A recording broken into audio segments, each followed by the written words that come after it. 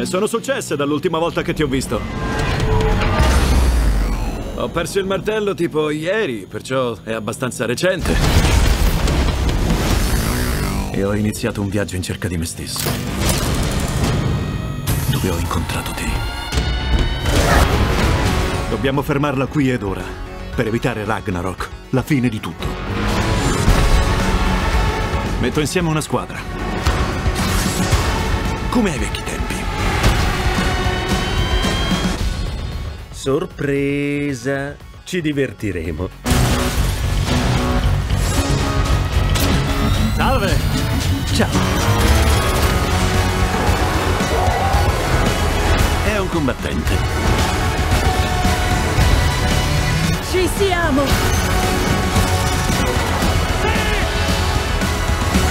Non sono una regina, né un mostro. Sono la dea della morte. Tu invece sei il dio di cosa?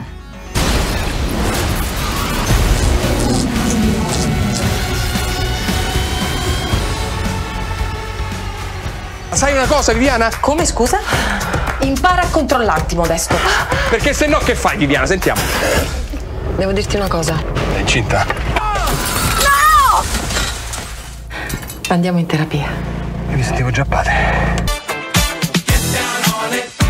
Pensi che fare l'amore risolva tutto, vero? Che cosa c'è di così riprovevole in due amanti in terapia? Forse il fatto che siamo amanti anche noi?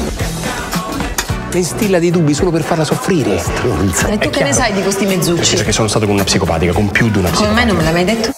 Se mi riferisco a Viviana chiamandola la sua compagna, posso chiederle cosa prova quando mi sente pronunciare queste due parole? Non siamo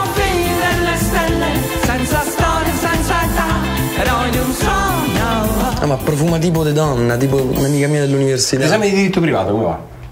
La pasto a Da lettere. due anni. E come ti trovi?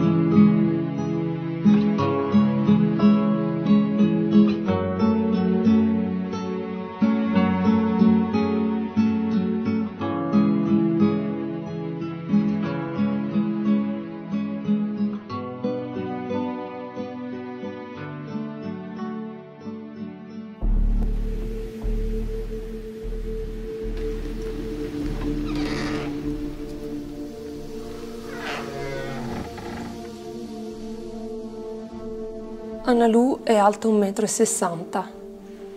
Ha lunghi capelli rossi. Sono le 17 del 23 dicembre. Esce per recarsi a un incontro alla chiesa della confraternita. Ma ci arriverà mai?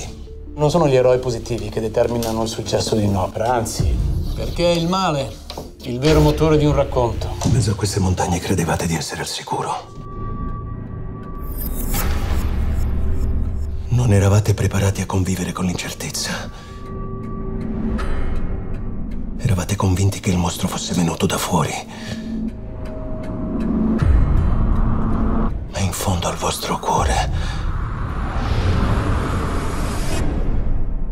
nutrivate il sospetto che il male fosse stato sempre immesso a voi.